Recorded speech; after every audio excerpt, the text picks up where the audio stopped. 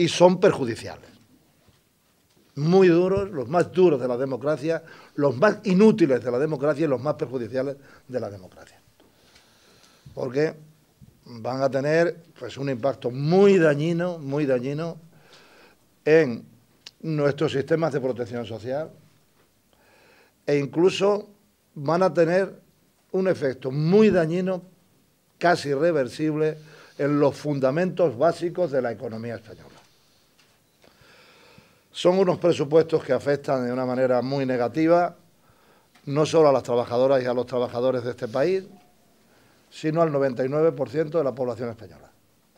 Solo protegen al 1% de los que podríamos denominar élites financieras, élites económicas, que son aquellos a los que quiere proteger el gobierno. Había pocas razones, cada día se van sumando más, que justifican esta convocatoria en el marco de una convocatoria general en la Unión Europea. Bueno, esto es lo que vamos a tratar de explicar en la Asamblea eh, de hoy y animar a la gente a participar activamente, a superar en muchos casos el miedo y la necesidad para sumarse a las movilizaciones en la huelga y en las otras movilizaciones que habrá el día de la huelga.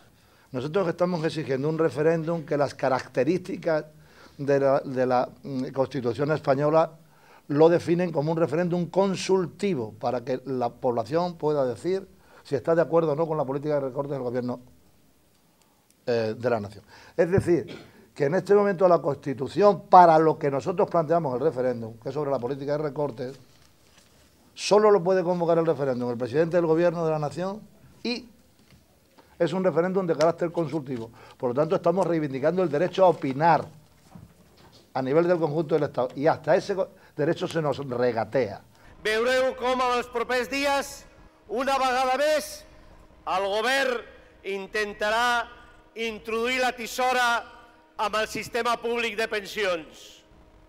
És la següent retallada que tenen al calaix i aquesta vaga general al carrer ha de ser una eina, un gran instrument per impedir que la tisora vagi en aquest sentit com ha de ser un gran instrument aquesta vaga general perquè a Catalunya s'obri un gran debat en relació als serveis públics de Catalunya. S'han d'acabar les retallades i ningú no pot fer triar a la societat catalana entre retallades i nació, perquè retallades i nació és exactament el mateix. Mai Catalunya ha avançat des del punt de vista nacional si no l'ha fet, si no fet des del punt de vista social. Perquè dic que aquesta és una vaga general laboral que pararem als treballadors, però és social. Nombroses entitats han donat suport a la vaga.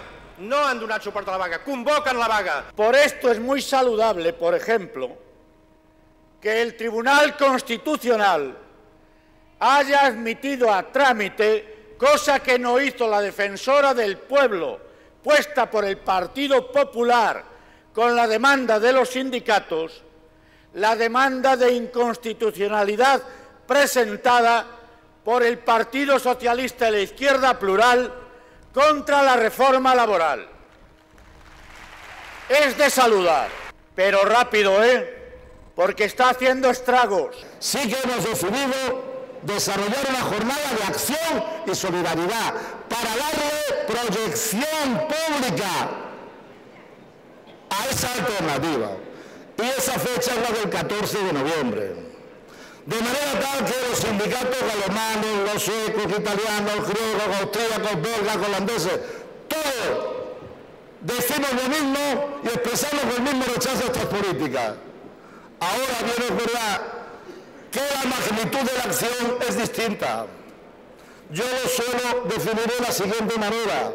En Europa ya hay coincidencia entre los trabajadores que la política de devaluación de los salarios y la política de deterioro del estado del bienestar, nuestros sistemas de pensiones, etcétera, ha empezado en el sur y se va a extender como una mancha de aceite por toda